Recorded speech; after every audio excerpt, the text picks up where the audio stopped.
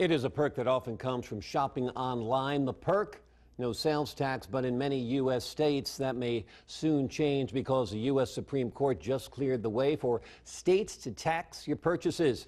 Ebru's Tasmin Mahfuz joins us live now at the touch screen with all the details. Tasmin. Well, yesterday may have actually been the last Cyber Monday without a sales tax, so I hope all of you bought something because it's actually a major setback for all online retailers and consumers. Now, the Supreme Court said oh, it'll let stand a ruling allowing internet retailers to collect sales tax even if they don't have a physical presence in the state. David Kim's family opened up this bike shop 30 years ago.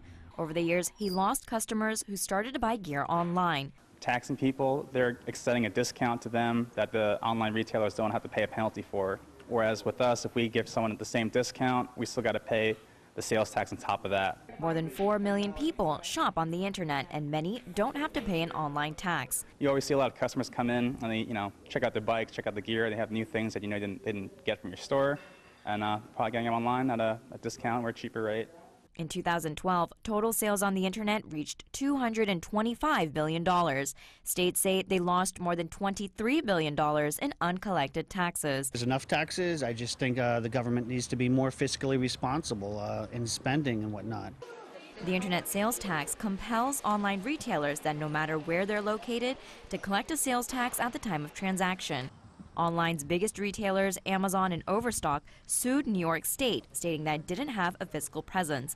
But under the New York law, retailers still must collect tax if they use a local resident to solicit business online. Amazon now collects taxes in these 16 states. Might make me a little more apprehensive about actually just going and splurging on something that's, let's say, $100, then it then it's like 108. You know, it's just just a little more hit to the pocket.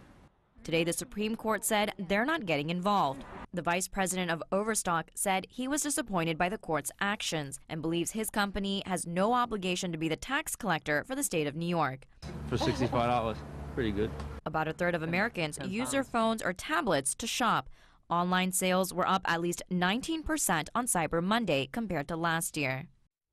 Now, web sales projected to climb some 15% to more than $80 billion. The uh, Amazon appeal asked Congress to create a nationwide approach to the sales tax issue. Now, we all know that in the end, states are the winners. And actually, Logan, there are billions of dollars, roughly $1.8 billion just in New York alone, that's not being collected. States win, consumers lose. Tasmin Mahfuz reporting live from the touchscreen tonight. Thank you so much.